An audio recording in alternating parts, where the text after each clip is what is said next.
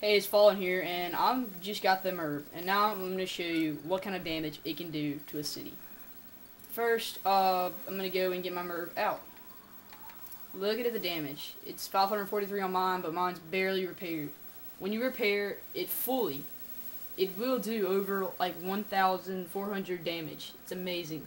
So I suggest getting repaired, although it is very expensive. I, right now, do not have enough money. But I'm going to show you what it looks like up close and everything.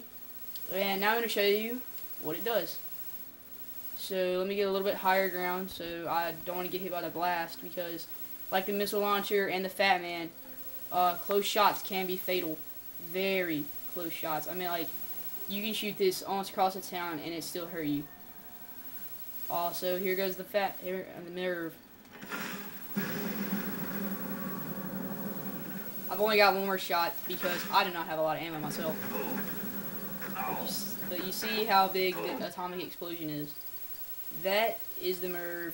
I'm out of ammo, so I'm going to have to go and kill the rest of the Megaton settlers with something else.